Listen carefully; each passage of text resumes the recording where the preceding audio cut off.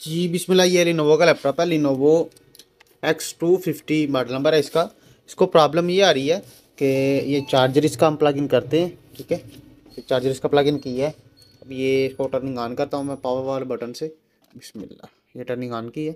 तो ये पावर वाले बटन की लाइट ऑन हुई है, साथ ही ऑफ़ हो गई है और बिल्कुल डेड कंडीशन में चला गया है डिस्प्ले नहीं आ रहा, ठीक है? दोबारा से मैं ऑन करता हूँ इसको। दोबारा से ऑन हुई है, फिर ऑफ़ हो गई है, ठीक है? लेकिन डिस्प्ले नहीं आ रहा। इसी तरह प्रॉब्लम आ रही है, जैसे ही ऑन होता है, वैसे ही ऑफ़ हो जाता है, ठीक है? ऑटोमेटिकली तो ये इशू आ रहा है इसको। चले चेक करते हैं इसको क्या प्रॉब्लम है। उसके लिए इसको ओपन करना पड़ेगा। तो चलें स्टार्ट करते हैं सबसे पहले इसको ओपन करके। चेक कर लेंगे क्या प्रॉब्लम आ रही है।